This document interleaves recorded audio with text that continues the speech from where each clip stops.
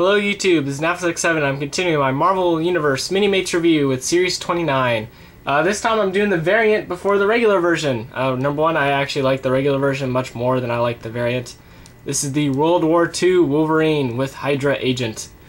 Um, this is a set that actually has the most accessories of any of the sets I've ever had. Unfortunately, this is a strange case where even though I like having accessories, the accessories are almost useless for some of them, or just kind of pointless and don't and just end up getting in the way of the figures. Anyways, here they are in reverse spots. My bad. I'll fix that and I'll fix that for the next one. But this is how they come out of the pack. Or well, Wolverine will actually have his hair in. This is his helmet. But this is mostly how they come out of the package. And how they come out of the package is not how I like to display these guys at all. We'll start with the Hydra Agent. He can't do anything like this. He has these big puffy gloves that can't really hold um, his guns at all. And then uh, it's actually made out of, he's got a little skirt thing and then overcoat. He's got a body underneath.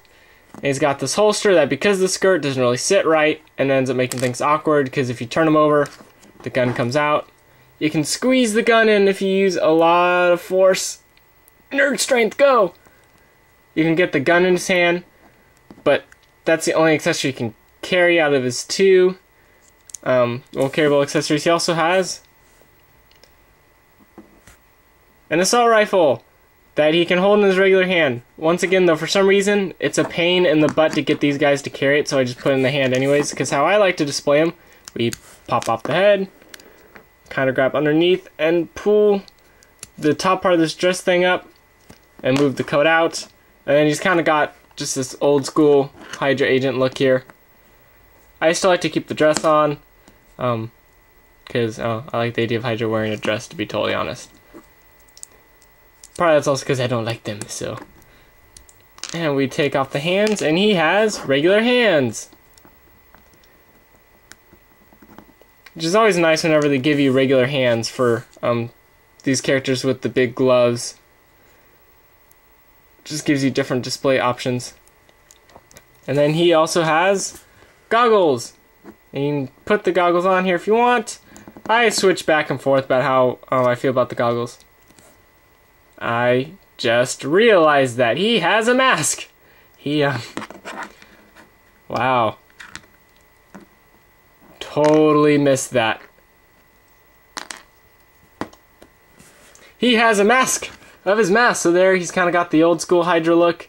And here's like the new detail mask where he looks kind of angry. And this goes, oh, that's kind of cool. I didn't realize that he had a mask. Oh, that totally improves my rating on these guys. Alright, well this set's going to get 9 out of 10 now because it was originally an 8 out of 10. I like that so much. Wow. Lack of plane for the win. Anyways, here's World War II Wolverine. This is when he fought with Bucky and Captain America back in World War II. See, the helmet doesn't really fit, and um, his head will snap off with the slice thing because this jacket pack is way too big. Um, and also, I have him holding the Tommy gun like this because this strap is so low set um, for these guys that I cannot get him to hold the gun to save my life. And I can't get to really fit in any other way, so he kind of has to hold by the strap. But once again, this is not how I like to display him. I like to take the head off and pop the coat off. See, he's got a basic uniform underneath this. Well, uh, pop the head minus the helmet back on. And what we're going to do is take off the hands. I'm doing this way out of order than what I normally do. We're going to put on his trademark Wolverine haircut. I actually sported this for a while, guys. I'm dead serious. I stopped because, um, yeah, girl, girls don't dig the Wolverine cut so much. But, oh, they don't actually dig the Spike haircut so much either, apparently now. But, there he is! And this is how I like to display him because this is how I like Wolverine. Although at this point, he's not Wolverine. He's James Howlett. Cool, cool.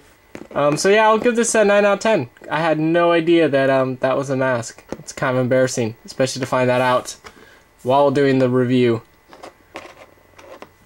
Um, I would only get this set um, if coming in the series, I wouldn't go out of your way to find it. It's not bad, but it's not the greatest. Um, oh, it is kind of cool. You kind of when you buy the series, you get troop building set because you get two Hydra agents. This is NavillusX7. I'm signing out.